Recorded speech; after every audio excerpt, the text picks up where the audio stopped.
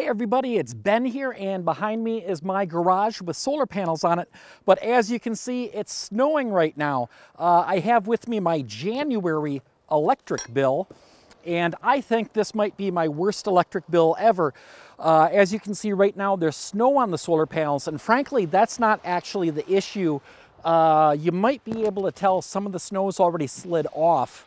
Uh, my garage is just steep enough that depending on how heavy, sticky, wet the snow is, a lot of times it just slides off or the next sunny day we have it melts off. But this January, we only had three sunny days. The entire rest of the month was literally just a whiteout gray sky, kind of like we have right now.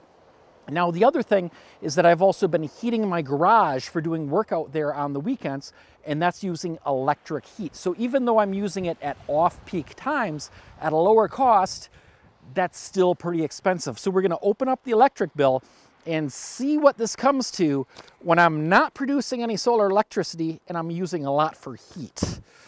So no tricks up my sleeve or anything. You are literally finding out uh, what my electric bill is at the same time that I do, but I think this one's gonna be a doozy. Uh, the other thing is since this is January, if my power company was uh, doing any kind of changes or anything, going from December to January is when they would do it. So if there was any kind of unexpected surprise, it'll be in here.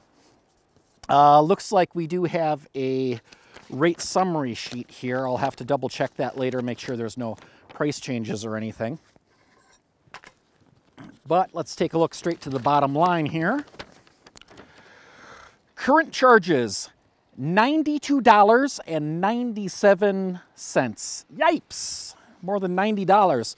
But my account balance is still negative $94.33. So even with the biggest electric bill that I've had, probably since I installed the solar, um, we're still doing pretty good. We still got almost a $200 credit with the power company.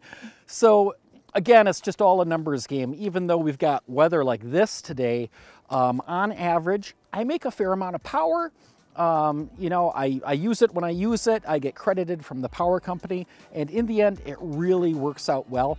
Uh, take a look, see if solar is right for you. Maybe it is, maybe it isn't. Maybe you'll live in the shadow of, I don't know, some big next door neighbor's building or something.